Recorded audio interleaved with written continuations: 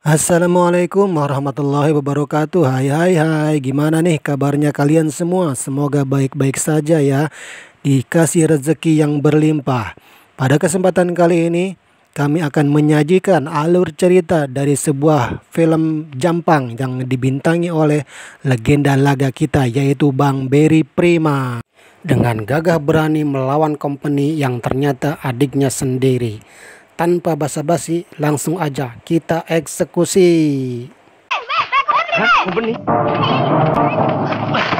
Aduh,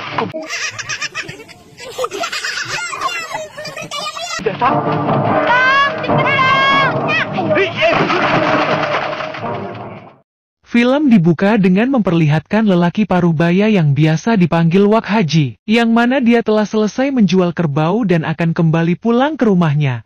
Namun tiba-tiba muncul dua orang preman yang berniat merampok untuk mengambil uang miliknya.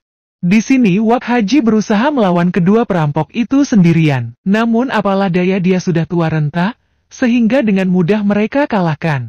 Dan secara tiba-tiba muncullah seorang pemuda yang gagah perkasa menyelamatkan Wak Haji dari kedua perampok itu.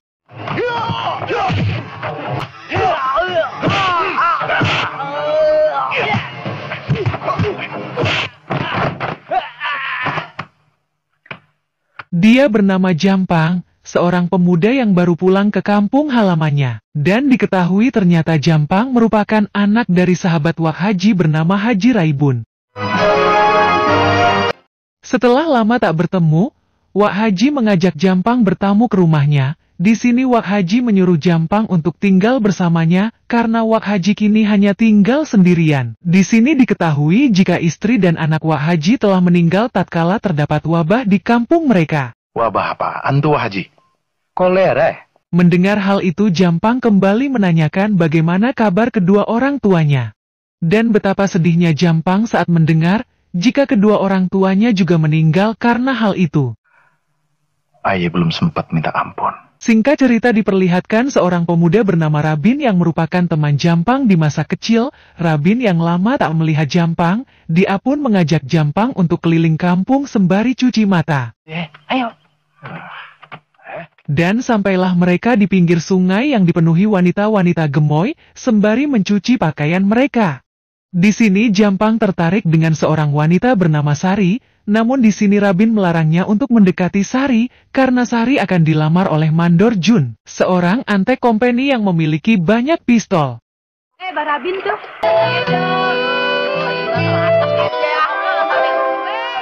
Keesokan harinya Jampang kembali bertemu dengan Sari. Di sini Jampang mengatakan akan bertamu ke rumahnya.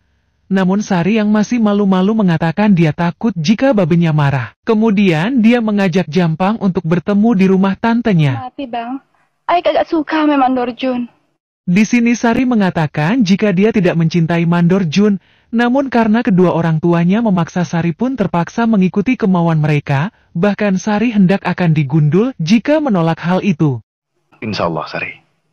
Insya Allah. Setelah sampai di rumah, Sari kembali mendapat amukan dari ayahnya. Bakal laki lu mau datang kemari. Gak mau. Sari yang menangis di kamarnya didatangi sang pujaan hatinya yaitu Jampang. Meledak. Kemudian mereka berbalas-balasan pantun, sehingga bibit cinta di antara mereka tumbuh subur. Sedangkan Rabin sendiri ditemani nyamuk hutan yang setia menggigitnya setiap saat.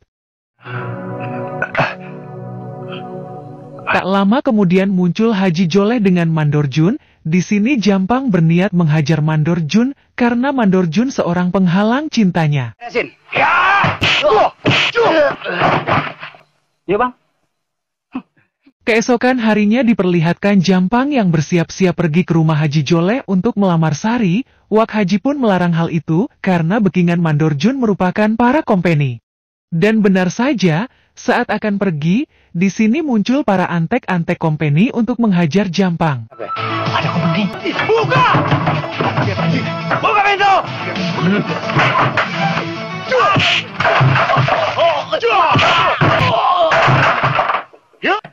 Bagaimana urusannya nih, Tom? Jampang yang menyadari mereka adalah orang suruhan Mandor Jun, dia pun berniat mendatangi Mandor Jun untuk menyelesaikan semua ini. Di sisi lain Mandor Jun tengah menunggu kedatangan para anak buahnya yang tak juga kembali. Kemudian muncullah Jampang dan Robin yang kembali menantangnya, sehingga pertarungan akhirnya terjadi.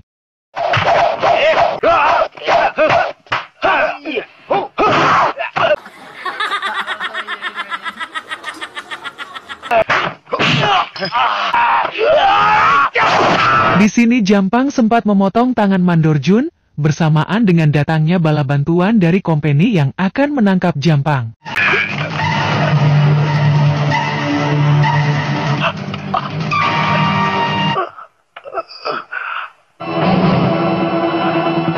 Jampang yang tengah kabur berhasil ditembak oleh seorang antek kompeni bernama Ibnu. Di sini Ibnu menodong Jampang dengan pistolnya.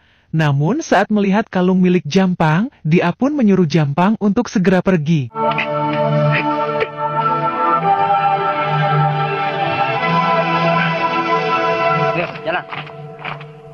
Sedangkan Rabin sendiri berhasil tertangkap. Di sini kita diperkenalkan dengan sang inspektur pasukan kompeni bernama Inspektur Franz.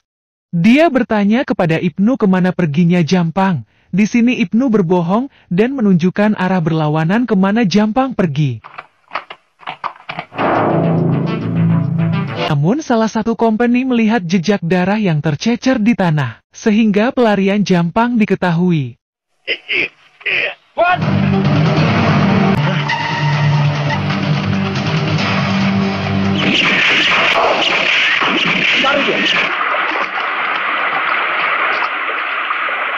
dia.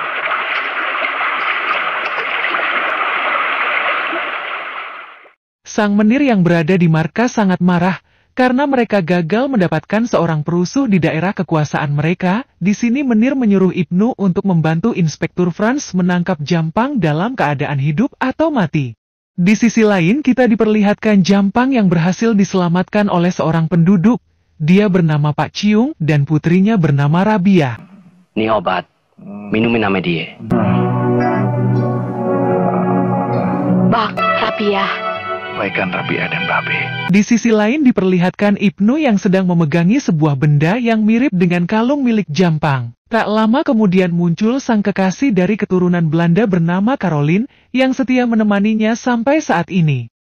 Keesokan harinya, Inspektur Franz kembali mengumpulkan pasukannya untuk mencari Jampang, karena sampai saat ini Jampang belum ditemukan.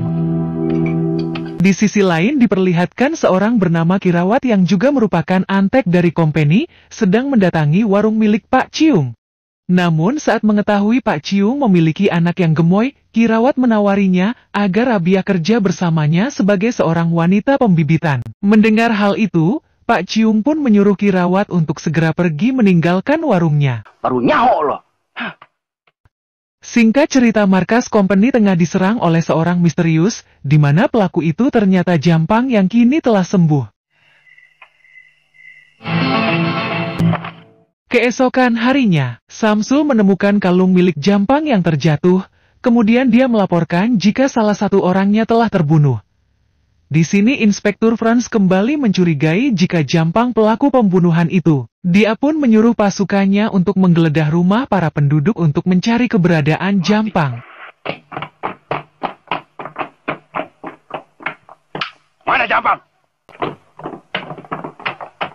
Satu persatu seluruh rumah para warga telah mereka obrak-abrik, dan di sini Inspektur Franz mencurigai Pak Ciung jika dia menyembunyikan keberadaan Jampang. Karena terdapat bau obat-obatan luka di rumah itu, Pak Ciung yang tak mengaku dia pun dihajar sampai tak berdaya. Babe, ayah jangan. Babe gak berdosa. Babe. Malam harinya Jampang kembali beraksi, di mana dia berniat membebaskan Rabin yang kini tengah menjadi tawanan kompeni. Sin berpindah ke Inspektur Franz, di mana diperlihatkan Inspektur Franz yang kini tengah mendatangi kediaman Pak Ciung ditemani satu pasukannya. Kemudian Inspektur Franz mengeluarkan sekantong uang untuk membayar putrinya. Di sini Inspektur Franz merayu Rabiah agar dia mau melakukan pembibitan. Namun Rabiah yang hanya mau dijamah oleh Jampang pun menolak ajakan tersebut.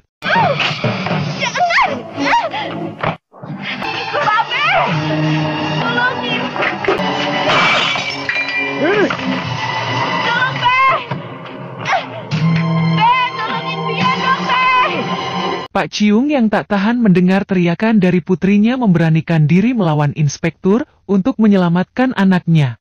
Rabiah yang melihat ayahnya telah mati mencoba membalaskan kematiannya, di mana dia mencabut golok itu dan menyerang sang inspektur, namun sayang dia juga menjadi korban dari kebengisan company itu. Keesokan harinya Jampang mengajak Rabin di rumah persembunyiannya, di sini dia merasa heran kenapa banyak orang berdiam di depan rumah Pak Ciung, dan saat membuka pintu, Jampang sangat terkejut melihat Rabiah dan Pak Ciung telah lemas tak bernyawa. Inspektur Franz, ayah tahu bener bang. Di sini Rabin menemukan sebuah tanda yang terjatuh milik Inspektur Franz, sehingga Jampang berniat membalaskan kematian Rabiah, orang yang telah menyelamatkannya. Di sisi lain terdapat kejadian perampokan yang mengakibatkan Caroline meninggal dunia, mengetahui kekasihnya meninggal, Ibnu sangat bersedih, kemudian Inspektur Franz memberikan kalung milik Jampang kepada Ibnu, di mana Inspektur Franz mengatakan jika kalung itu dia dapat dari tangan Caroline. Dari sini kita dapat ketahui jika kejadian ini merupakan siasat dari company untuk mengadu domba. Utang nyawa. Keesokan harinya diperlihatkan Inspektur Franz keliling kampung untuk kembali mencari wanita gemoy, di mana semua penduduk yang melihat company lari terbirit-birit seperti dikejar setan. Walaupun ini hanya film, tapi di sini dapat diketahui betapa menderitanya warga pribumi waktu dulu. Jampang dan Rabin yang berpapasan dengan Inspektur Franz langsung menghadangnya untuk memberikannya pelajaran.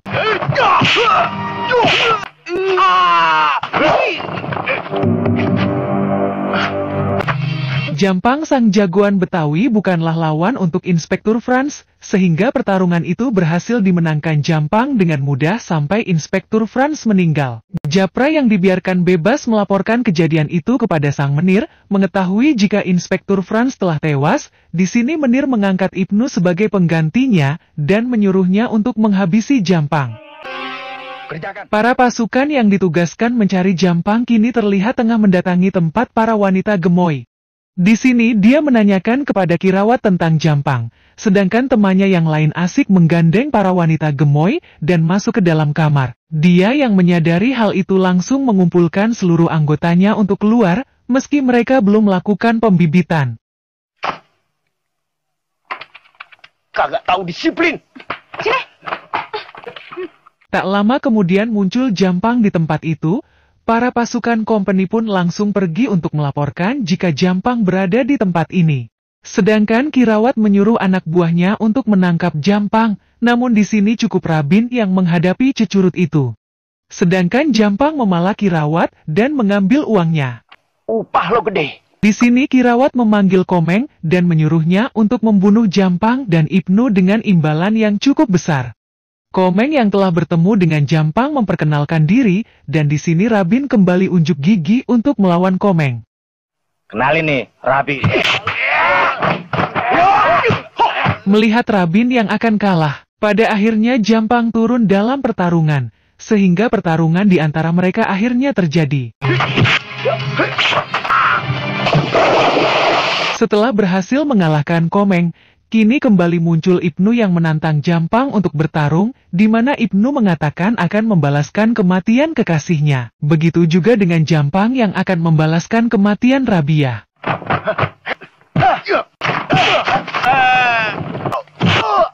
Setelah pertarungan yang sengit, Ibnu mengakui jika dia kalah dari Jampang, namun di sini Ibnu mengatakan jika Jampang tidak pantas menjadi anak Haji Raibun, dia juga menunjukkan potongan benda dari kalung milik Jampang. Dan diketahui mereka berdua merupakan saudara yang telah lama berpisah. Dua adik gua. Dan film pun selesai. Oke guys, terima kasih telah menonton. Jangan lupa like, comment, subscribe.